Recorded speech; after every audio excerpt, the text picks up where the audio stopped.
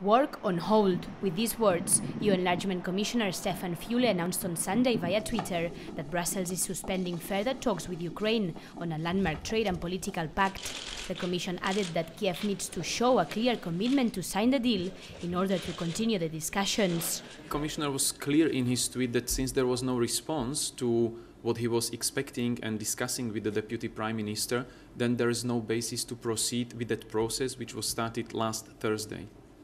So there was no clear commitment coming from Ukrainian side about the resolve to sign the association agreement, and uh, there were these um, different statements and indications making the impression that there is a growing gap between the declarations and the concrete deeds and actions.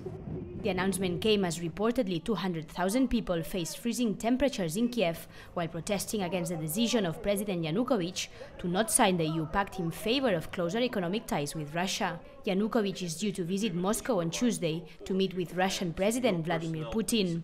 Meanwhile, the Russian Foreign Affairs Minister is also in Brussels, where he will discuss the Ukrainian situation with European ministers. Tür zur Europäischen Union, sie steht weiter für die Ukraine offen.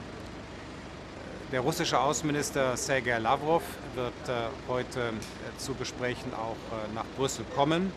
Hierbei ist aus meiner Sicht wichtig, dass diese Gespräche auch unverändert stattfinden.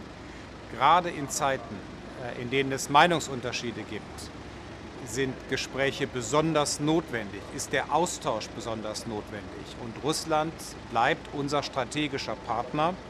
Auch wenn wir nicht alles so sehen wie Russland, ist es wichtig, dass wir im Gespräch bleiben, dass der Dialog auch fortgesetzt wird.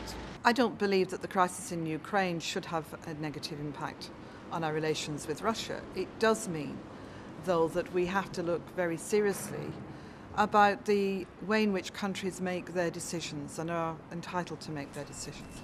Earlier last week, Füle pledged more aid to Kiev and to help it negotiate a loan from the IMF if it signs the agreement.